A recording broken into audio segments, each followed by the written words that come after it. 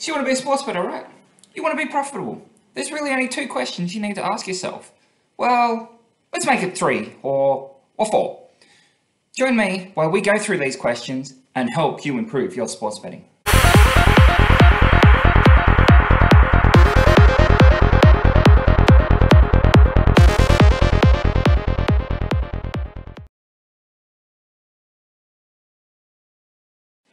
So if you haven't been to my channel before, please hit that like button, hit the subscribe button and hit the notification bell so we can get our videos out there to help those sports punters and make them profitable. Let's get into this video. So the first question is, what are your unique strengths? Is it finding mispriced games? Is it reading a game on a particular sport that you know better than anyone else? Is it creating mathematical models? Or maybe it's about just collecting data and being able to analyze it better than anyone else. If you've got a strength, you can use it. My strength is arguing with my wife. I can win the arguments. Okay, I can't, that's true. But my strength is really collecting data, being able to analyze it, creating a mathematical model, and being able to see if that's profitable over time. You need to work out what your strength is in sports betting, and you need to take that strength and use it to your advantage. Let's think of some strengths. Are you good at programming? Well, most sports bettors aren't. There's a strength straight away. You'll be able to test things that others can't do easily. So you'll get a lot of leverage just on your skill set right there. Okay, but coding might not be your, your strength. So let's look at another thing. Are you good at watching sports? Do you love to watch sports? Could you sit there all weekend watching a sporting game? Well, maybe in-play trading is for you if you know a particular sport and you can read the momentum in games, in-play trading is a great option where you can actually place those bets based on what you're seeing rather than what the guess is before the game. This could be a great area to get started.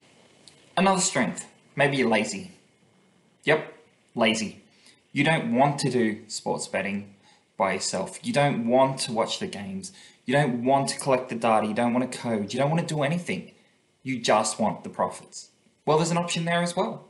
You can go find tipping services that are actually profitable. You need to do a little bit of research up front, but once you find some that actually work, you can be as lazy as you want and just follow their tips. Outsource all that work to someone else. It's a valid option. So you can see anything can be strength. It's just how you apply it to your sports betting and thinking about it logically. So let's get on to our next question. What could that be?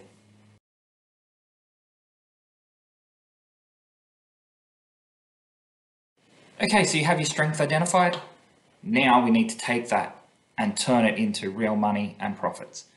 How do we do that? We need to leverage that strength.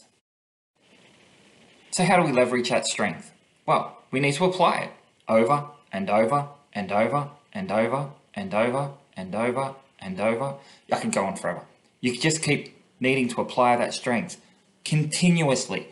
Keep going at it. Make it the main part of your focus. If you can do that, you're going to end up making some profits. You'll also make some losses, but you'll get better. The first thing is where can I make my profits? And that is using your strengths. So let's look at the examples that we came up with. If you can code, code every day. Spend as much time as you can coding solutions to get out profitable situations. You're not going to know unless you code. You'll be able to code to collect different data that other people don't have. You'll be able to create your own features for new models. You'll be able to learn how to do uh, machine learning on that data. If you're lazy, don't just try one tipster. Don't try two. Maybe try 10. Yeah, 10. That's one month.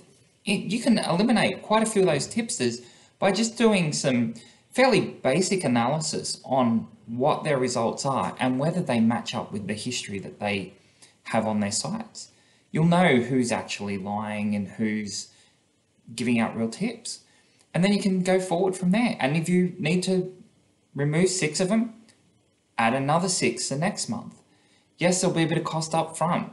Any business and anything that is going to make long-term profits requires a little bit of upfront money or effort. So if you want to be lazy, you're going to have to put a little bit of money into it.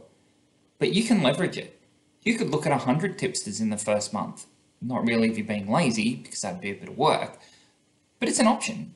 Just keep leveraging it. Every time you remove tipsters, add new ones.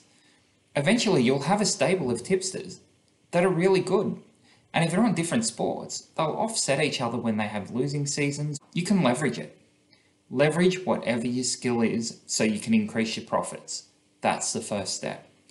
So, what is our next question that we need to ask ourselves as a sports bettor? Watch out! That's question three. What are your top risks?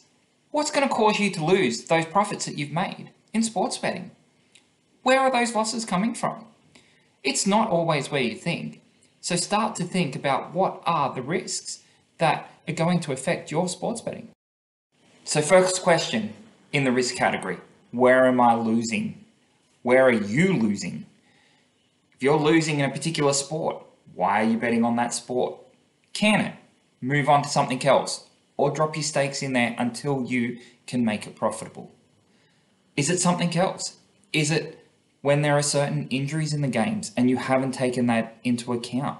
You need to analyze a little bit on where these top risks are and are causing you to have losses in your sports betting. Maybe it's your staking. Maybe that's where your risk is. Maybe you're using a martingale system. Please avoid martingale. But maybe that's what you do. And you need to find out where that top risk is and you have a bit of a way around staking, you need to understand that and whether or not it's profitable in the long term. It might not even be related to the betting. Maybe your top risk is about getting time just to do the form and the analysis on the game or being able to sit and watch a game if you're an in-play trader so that you can watch and focus on where the momentum is. If you have someone come in and interrupt you while you're watching a game and you're an in-play trader, you might miss that important goal or trade or getting out of position that you need to do, and that will cause problems for your long-term profits. So where is the risk in your sports betting? So you've identified your risks. What's that last question that we need to ask ourselves so that we can be profitable? So with that last example, why don't you just shut the door? We need to mitigate the risks. Mitigation is important. It's the way you turn your profits into actual long-term profits. You can have profits go up in the short term and go down in the short term, but if you can slowly mitigate your risks, remove those losses, remove the distractions, put in the work, you're going to eventually turn your losing situation into a profitable situation. So what are the mitigation strategies that we can put in place? Well, if you're an in-play trader, you know that you need to focus on the game. Have a quiet area, a particular room, and make sure that people know not to distract you while you have trades in place. This is important.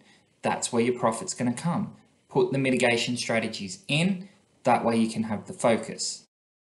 So for example, what if you are the person who decides to go with the tipsters? What mitigation strategies can you put in place? Well, first off, you could have a particular amount that you're willing to spend on one tipster, and if they lose, that is the cutoff. Or it may be that you have a mitigation strategy on how you pick tipsters so that they're more likely to be profitable. This could be reviewing uh, Twitter for reviews or different sporting sites or word of mouth. There's always a mitigation strategy you can put in that will help alleviate the risks that you have in your sports betting. And it's about removing these risks that turn in the long-term profits. I can sum up everything that we've talked about in basically one sentence. The objective is to survive long enough to see the rewards of your advantage, which you have created using your strengths and minimizing your risks, accumulate into long-term profits. So, what are your strengths? How are you going to leverage them? What are your risks? And how are you going to mitigate them? Put it in the comments. I'll reply to all of them. I'm interested to hear what you can provide that'll help other punters as well. Everyone has great advice that can be shared. So share it in the comments. And with that, hopefully I've been able to provide a lot of value to you and you can improve your sports betting based on this advice. So I'll leave you with one final piece of advice. Keep winning and betting on yourself in life. Thanks for watching the video.